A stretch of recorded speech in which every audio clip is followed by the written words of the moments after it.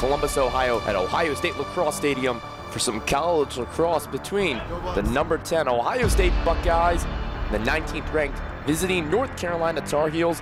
A lot to unpack in this game. North Carolina and Ohio State, two 2-0 teams, both undefeated. Let's get it going here in Columbus, Ohio. Sold out crowd for some college lacrosse on the crease, and it's a goal for Ohio State.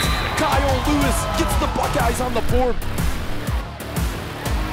Jack Meyer scores. Ohio State ties things up.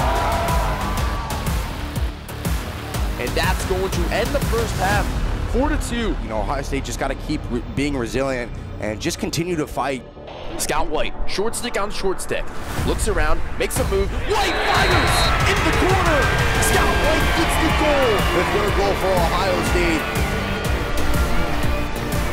Up top, Jack Myers with the move.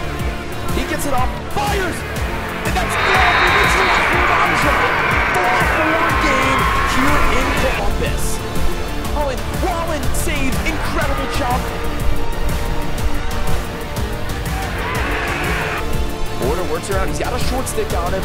Porter works it, spin moves, fires, goal! Kyle Porter has taken the first lead of the game for Ohio State. Has plenty of time, 40 seconds on the shot clock. Porter goes inside, he's got another goal!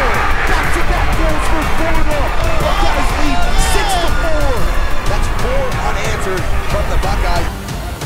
Jason Knox rips it top right corner. Epstein comes around X, and he fires. Goal! Is that the icing on the cake? It may be so. Final score 8 to 5 in favor of Ohio State.